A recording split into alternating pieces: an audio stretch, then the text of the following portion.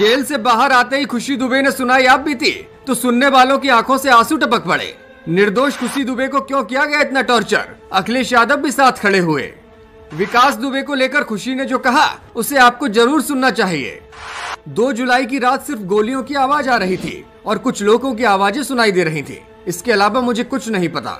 मैं तो ठीक तरह से परिवार को समझ भी नहीं पाई थी और पुलिस ने ऐसे गंभीर आरोपों में मुझे जेल भेज दिया। मैंने पहली और आखिरी बार अपनी शादी के दिन ही विकास दुबे को देखा था। ये बातें जेल से रिहा होने के बाद वापस अपने घर, यानी मायके पहुँची खुशी दुबे ने कही हैं। घर पहुँचते ही खुशी ने दहरी के पैर छुए, इसके बाद घर में प्रवेश किया। बड़ी बहन नेहा के बच्चे सगुन और वेद को गले लगाकर खुशी का गम आँखों से टपकते दिखाई दिया। घर के बाहर पत्रकारों की भीड़ जमा थी और खुशी को न चाहते हुए भी पत्रकारों के सवालों का जवाब देने के लिए घर से बाहर आना पड़ा। खुशी ने पत्रकारों से कहा, उस रात मेरे पति अमर दुबे मेरे साथ ही थे। पूरी घटना से न तो उनका और न उनके पति का कोई लेना देना था। क्या विकास दुबे से अमर के संबंध थे? इस सवाल पर खुशी ने कहा, मुझे इस बारे में नहीं पता। खुशी ने कहा कि ये तीस महीने जेल के अंदर मेरे जीवन के सबसे कठिन दिन थे।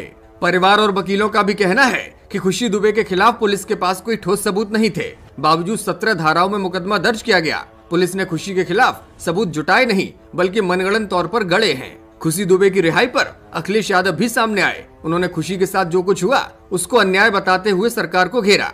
दूसरी ओर खुशी की रिहाई की खबर के बाद से शनिवार को पूरा दिन पुलिस की निगाहें क्षेत्र की गतिविधियों पर बनी रही। पनकी थाना क्षेत्र के इंस्पेक्टर और एसीपी फोर्स के साथ लगातार क्षेत्र के आसपास राउंड लगाते नज़र आए। पुलिस की गाड़ी क्षेत्र में आते ही लोगों को लगता था कि खुशी आ गई, लेकिन देर रात खुशी जब घर पहुँची तो पूरा मोहल्ला इकट्ठा हो गया। खुशी की माँ गायत्री ने पत्रकारों से कहा कि खुशी निर्दोष थी, इसलिए उसे कोर्ट से जमानत मिली है। मुझे न्यायालय पर पूरा भरोसा है। आगे भी हमें न्याय मिलेगा।